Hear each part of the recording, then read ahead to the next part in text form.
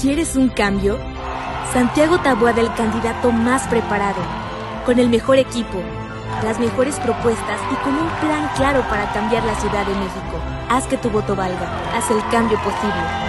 El 2 de junio, vota PAN. El cambio llegó.